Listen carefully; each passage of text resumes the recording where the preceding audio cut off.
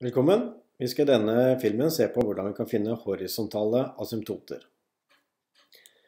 Når vi skal finne en horisontal asymptote, så er vi interessert i å sjekke om grenseverdien når x går mot pluss minus uendelig til en funksjon eksisterer. Og hvis grenseverdien er a, ja, da er den horisontale asymptota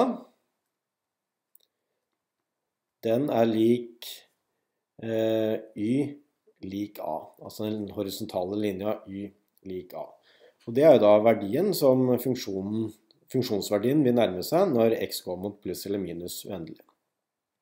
La oss se på et eksempel. Vi har funksjonen f av x lik x minus 2 delt på x pluss 2. Og Vi skal nå undersøke om den har horisontale asymptoter.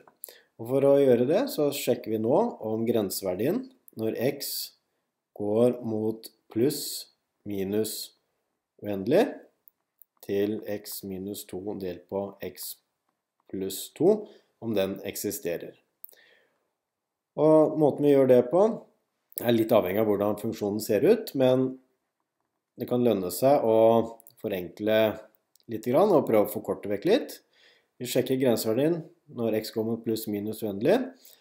Og så tar vi og deler med x i alle ledd, slik at vi får x delt på x, det er da første leddet i telleren, minus 2 delt på x.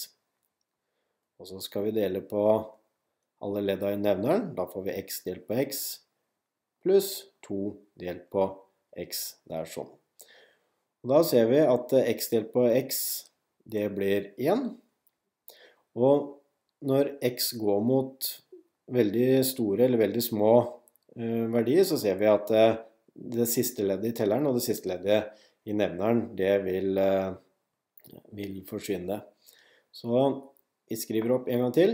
Grenseverdien når x går mot pluss minus uendelig, da får vi da Telleren vil nå se ut som 1, det er x delt på x, minus 2 delt på x, delt på 1 pluss 2 delt på x.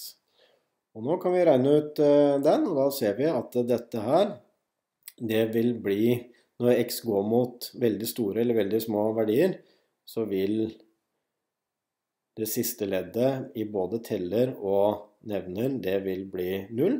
Og vi sitter igjen da med 1 delt på 1, som er grenseverdien. Og dette vil også være vår horisontale asymptote.